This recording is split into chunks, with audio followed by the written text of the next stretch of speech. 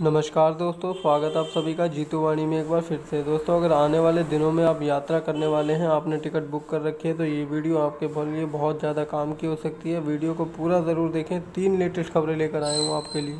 पहला अपडेट, गाड़ी संख्या ज़ीरो पाँच, डबल ज़ीरो आठ, कृषक एक्सप्रेस को लेकर है।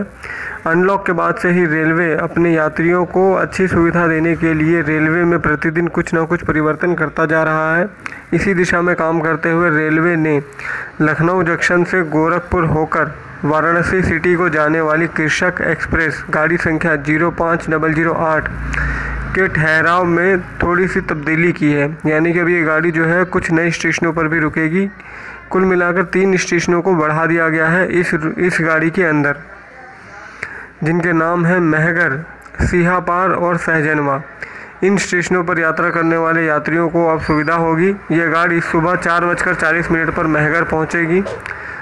इसके बाद सिहापार चार बज के इक्यावन मिनट और सहजनवा चार बज के उनसठ मिनट पर। इन तीनों स्टेशनों पर इस गाड़ी को दो दो मिनट के लिए ठहराव दिया गया है। अगला अपडेट है गाड़ी संख्या ज़ीरो पाँच नौ तीन तीन, तिलसुकिया अमृतसर स्पेशल एक्सप्रेस में। यह गाड़ी 15 दिसंबर से बदली समय सारणी के अनुसार सुबह 9 बजे रवाना होगी और तीसरे दिन सुबह छः बजकर दस मिनट पर लखनऊ होते हुए रात को 9 बजे अमृतसर पहुंचेगी। इसी तरह वापसी में यह गाड़ी संख्या ज़ीरो पाँच नौ तीन चार 18 दिसंबर से शुक्रवार को अमृतसर से दोपहर में तीन बजकर चालीस मिनट पर चलेगी। यह ट्रेन सुबह छः बजकर पैंतालीस मिनट पर लखनऊ पहुंचेगी और तीसरे दिन रात को दो बजकर चालीस मिनट पर तिलसुकिया पहुंचेगी।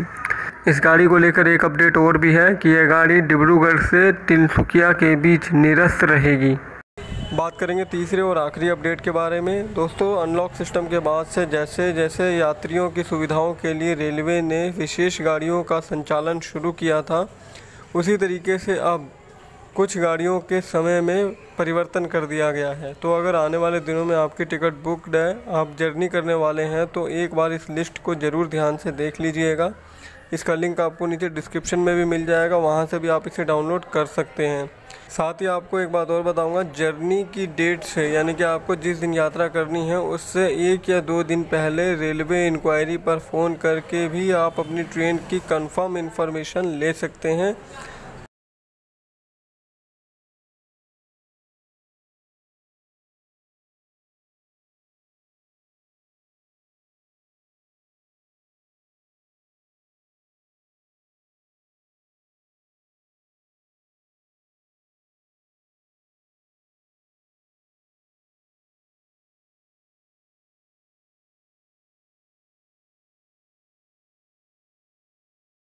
मिलेंगे दोस्तों नई वीडियो में नई इन्फॉर्मेशन के साथ। आज के लिए इतना ही। जाने से पहले सबसे रिक्वेस्ट करूँगा, वीडियो को एक लाइक ज़्यादा से ज़्यादा शेयर और अपने चैनल को सब्सक्राइब कर लीजिएगा ऐसे ही रेलवे से जुड़ी हुई लेटेस्ट इन्फॉर्मेशन के लिए।